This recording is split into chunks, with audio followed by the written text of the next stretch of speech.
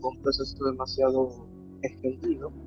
Eh, yo creo que ustedes tienen conocimiento desde la primera vez que yo entablé una conversación con ustedes, con el periódico, que fue cuando estábamos en el primer proceso, que fue retirando la, eh, la gripe o la, la, fiebre amarilla sobre la vacuna.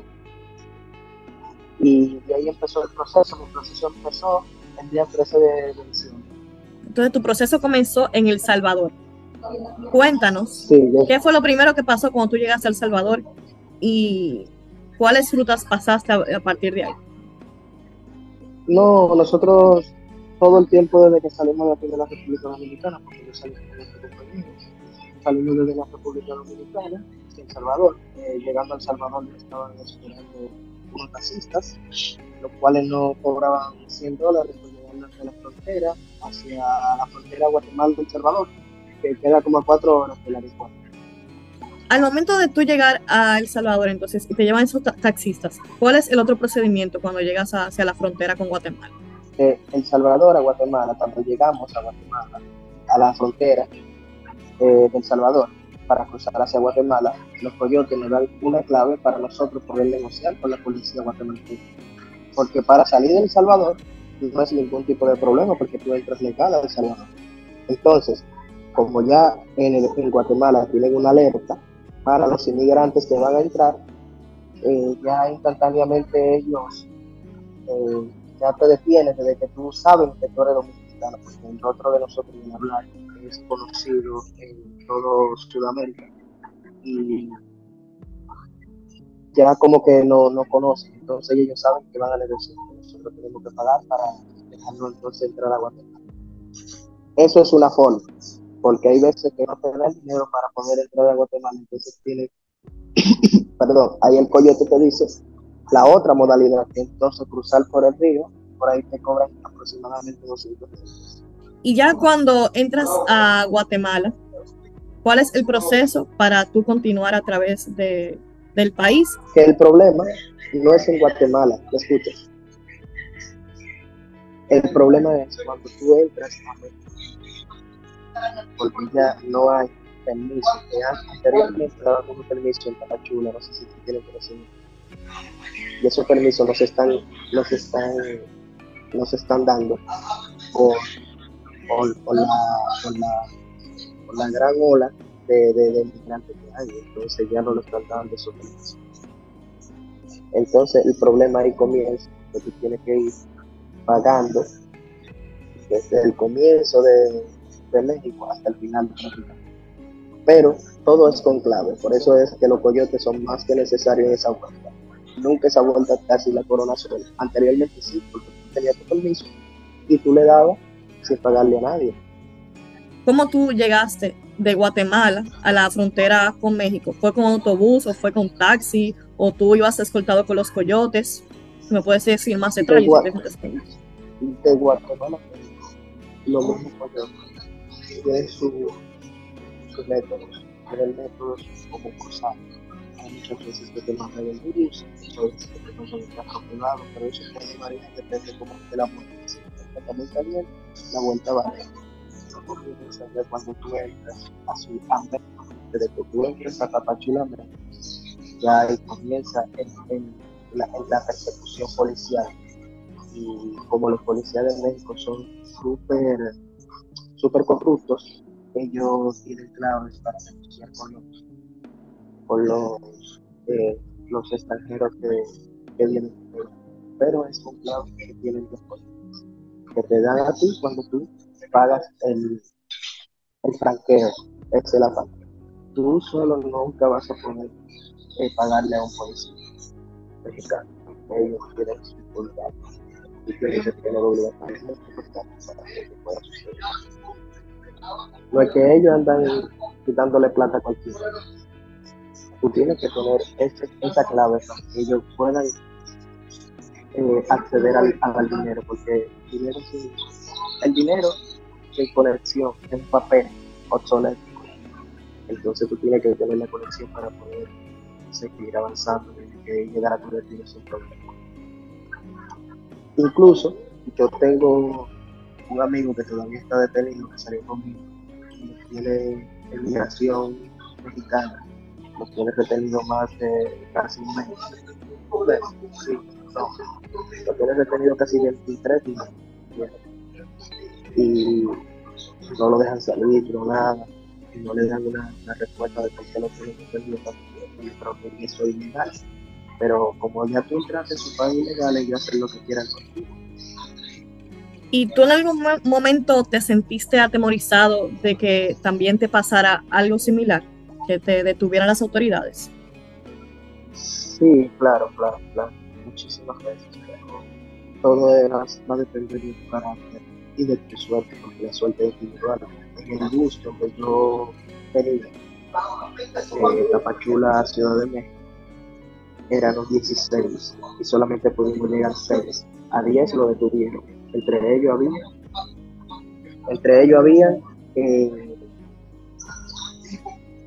eh, habían ecuatorianos, eh, salvadoreños que están emigrando mucho en cantidad de cubanos.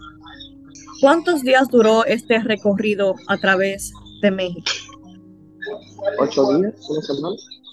¿Y dónde ustedes se quedaban mientras tanto? Porque tengo entendido que te ibas movilizando en autobuses, pero me imagino que hacían paradas. ¿Ellos los hospedaban en un hotel o se quedaban en una casa? Ellos no hospedaban en hoteles, no En México ni los taxistas se paran a, a, a, saben que es un problema. Si tú no quieres una clave, tú eres un blanco fácil para que te ¿Y cuáles fueron esos momentos difíciles que viviste durante este recorrido por México que nos quisieras contar? Bueno, una noche me iba a transportar. El vehículo se le pinchó la goma y ganó sobrecargado. Con un vehículo aproximadamente siete personas. Y se lo pincha una goma, y cuando se lo pincha la goma, aparecen más de 20 o 30 personas, todito con armas largas, y el chofer comienza a tirar, a decirle claves, y ellos como que no le, no le entendían las claves que el chofer le daba. Y hasta que el chofer no, no pudo contestarse con el, con el contacto más grande, a nosotros nos tuvieron detenidos aproximadamente tres horas, nos quitaron todo, dígase celular, todo. Pero cuando el jefe grande se contactó en cadena, nosotros nos soltaron, pero hubo uno que quiso poner la fuerza y lo partieron y le daban mexicanos y recuerdo yo, no sé la apellido, y ahí lo partieron y el, uno de los jefes de la banda era, tenía un nombre ahí extraño, lo, lo voy a omitir por, por, por motivos de seguridad, y él dijo, no, él se queda, ese que nosotros le dimos, él se queda con nosotros. Todos nosotros devuélvanle a sus cosas, pero él se queda. No sé qué le pasó a Entonces, básicamente lo, lo, dejaron ahí, tirado. Sí, fácilmente podemos decir que lo mataron. Porque no volvimos a ver. Entonces, no si... Porque ellos se quedaron con ellos y ya estaba golpeado, ¿me entiendes? Yo tenía impotencia, nosotros queríamos atacarlo, 30 con armas largas y, diferentes palos, cosas. Una, eso era como, como una turba de personas. ¿Y eso también ocurrió en otras ocasiones o fue la única ocasión que ocurrió como un acto de violencia similar? Como acto de violencia porque nosotros fuimos protegidos prácticamente. Eso no sucedió porque nosotros nos paramos porque México se, se divide por distritos por distritos. Entonces, eso nos pasó porque nosotros nos paramos en un distrito, pero no, no teníamos como una jurisdicción. Porque sin jurisdicción tú no puedes detenerte en un distrito que no te pertenece. Entonces, como se nos vendió el vehículo, nos detuvimos en un distrito que no tenía jurisdicción y de una vez nos secuestraron a todos, inclusive que era mexicano también. Pero él iba como hablando con ellos, negociando con ellos, pero incluso a mí me quitaron como 500 dólares y mi celular. A mí me devolvieron mis 500 dólares y mi celular. Después que ellos dieron con el, contacto de nosotros, porque los contactos pagan para que todos sus contactos lleguen seguros, porque por eso la clave de la vuelta de México es los coyotes. Sin coyotes no cruzas. Ahora, en este tiempo, no sé si eh, eh, anteriormente sí, porque anteriormente con el permiso tenía más facilidad, pero ahora mismo las cosas se proceden así. Entonces, después de pasar este momento traumático para ti y para los demás que estaban en, el automóvil, ¿qué, siguió? ¿A dónde se dirigieron? Bueno, ellos lo dejaron un poquito abandonado porque también se quedaron con el auto. auto como tenía el agua dañada, ellos se quedaron con el auto. Parece que el jefe le dijo que se quedaran con el auto también nosotros.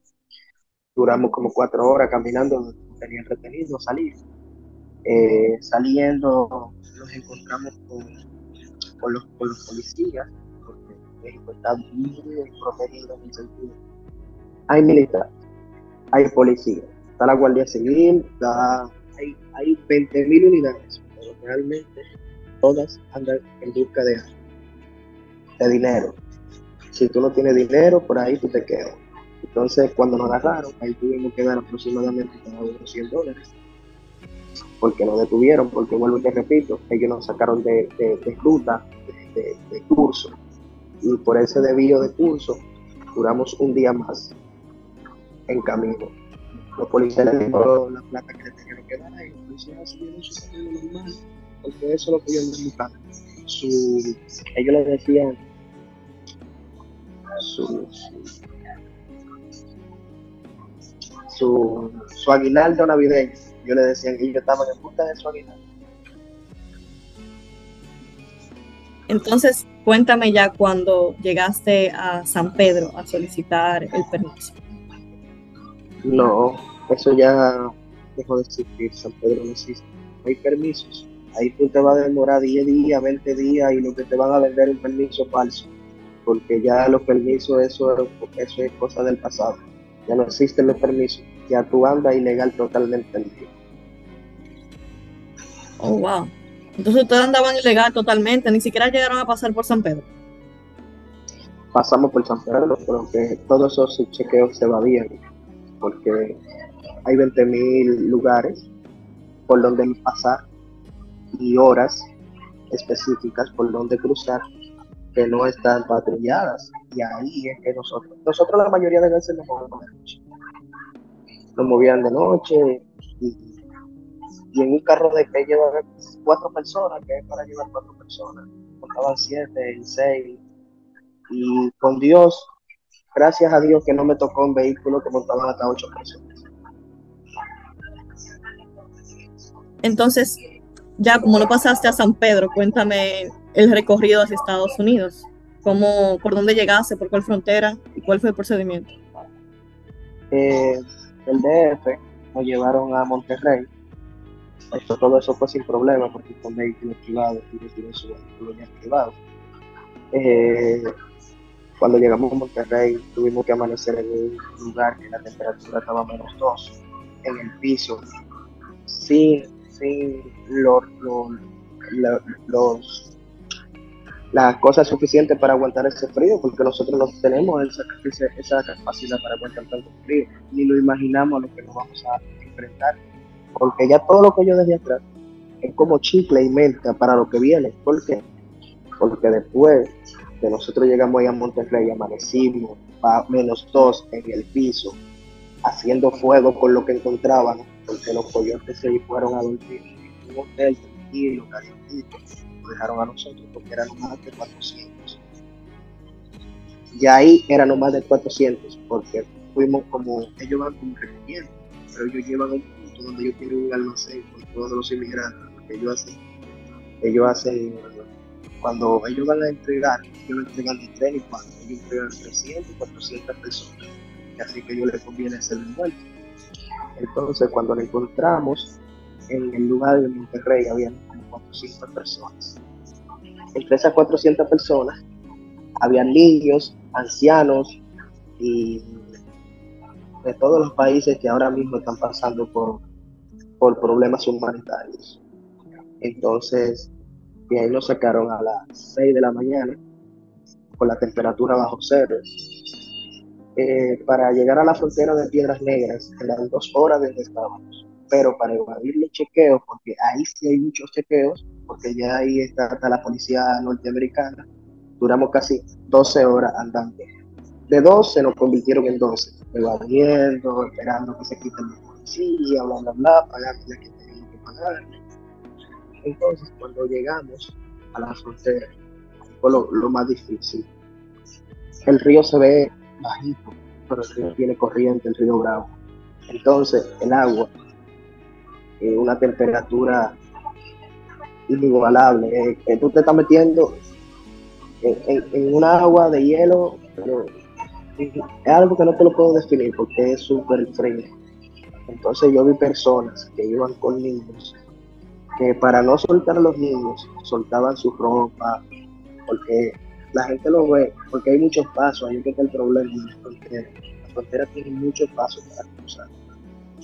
Pero realmente la frontera es muy larga, entonces hay pasos más suaves que otros. Hay lugares más suaves que otros, pero los lugares suaves los militarizados. Eh, como los dominicanos no tienen problema para entrar a los Estados Unidos. A los dominicanos no, nos tienen ningún problema porque nosotros no aplicamos para asilo político, ni aplicamos para ningún, ellos le dicen plan, plan de, regularización de asilo, porque nuestro país no, no, no está guerra, ni está pasando por un problema económico. Y ellos entienden porque realmente si no tuviésemos pasando por un problema económico, nosotros no estuviéramos saliendo. Realmente que la cosa está dura en nuestro país. Esa es la triste realidad. Pero sí se puede, se puede llegar. Y es como le explico. Cuando cruzamos, yo veía como la persona se le iba su ropa, mucha gente de los niños se le iban de la mano, lo iban a buscar. Entonces, cuando tú te sales del caminito donde te dicen que tú caminas, se te pone hondo el río, porque el río tiene hoyo, el río tiene unos lugares que tiene más corriente. La piedra, como están congeladas, te cortan. Si tú cruzas de calzo, a mí se me fueron mis chancletas porque yo no crucé con los tenis que yo tenía. Y así sucesivamente. La policía, ya después, cuando tú cruzas la frontera, que los policías ven que viene el mundo, porque esa es la prioridad de, los americanos. Entre todos los buenos y todos los malos, cuando usted viene en familia, hay alguna prioridad más. Viene familia, viene por niño, viene tu esposa. Entonces, cuando la patrulla fronteriza ve que tú vienes con, niños y envejecientes, abren unos puertones que ellos tienen. Eso es nada de que tú vas a cruzar por muros, no. Ellos te abren porque ellos te quieren recibir. Cuando ellos te reciben, ahí hay perros antidroga, están todos los servicios desplegados para tratar de darnos unos escapes para hacer el proceso. Todo eso es muy fácil. Ellos no tienen ropa seca del otro lado. Y eso es frío bajo cero. Mucha gente quedaron con pulmonía crónica. Todavía yo estoy sufriendo de una gripe que no se me quita. Entonces es como, como un calvario. Si la gente piensa algo, que Estados Unidos es lo mejor, pero Estados Unidos ahora mismo está atravesando por una de las peores momentos por esto mismo, por la inmigración. Y ya al momento que tú cruzaste la, frontera, que te dieron asilo, a ustedes los, los retienen por un par de días, ¿cierto? A nosotros nos dan asilo. Eso es otro punto que le quiero aclarar a, a nuestros dominicanos, que a nosotros no nos dan asilo, nosotros nos dan un parol. Ese parol dura un mes y medio, dos meses, después de tu cita con inmigración. Y ellos te dan un teléfono. Con ese teléfono ellos te tienen rastreado. Y cuando tú te entregas, ellos te recargan una y otra vez que tú cometiste un delito federal, que tú eres un preso. Ellos te hacen un proceso como un preso.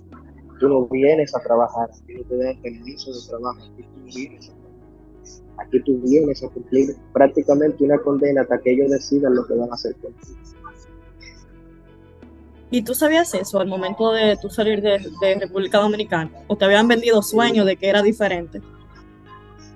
un sueño, tuve 20 mil, videos, no, que tú vas a tener un permiso de trabajo, Estados Unidos te va a abrir la, la puerta, la, te va a esperar con la puerta abierta.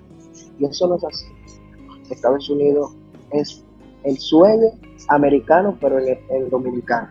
Cuando tú vienes aquí, tú te encuentras con tu realidad, y que no es así. Que aquí tú lo que vienes a pasar, soledad, aquí tú vienes a pasar frío, cuando estamos en invierno, cuando estamos en verano, eh, bueno, un infierno. Y Jonas, ¿qué tú estás haciendo ahora? ¿Has encontrado algún trabajito? ¿Cómo, cómo, te has mantenido? No, yo gracias a Dios eh, he tenido suerte, porque he llegado de personas que son dignos de admiración, porque realmente he encontrado muchas historias en esta que hay miles de personas que te pintan un sueño y cuando tú llegas aquí, lamentablemente te dan la espalda, porque eso es lo típico de Estados Unidos. Aquí realmente tú te das cuenta de si tú no trabajas, aquí no juegas, aquí no juegas, aquí tú te enfermas, es cantar, tú te enfermas, tú alquilaste una pieza y tú pagas semanal y tú te enfermaste y duraste una semana sin trabajar y tú no puedes pagar, tú vas para afuera. A ellos no le importa, tú vas para afuera. Aquí nadie le importa la vida de nadie.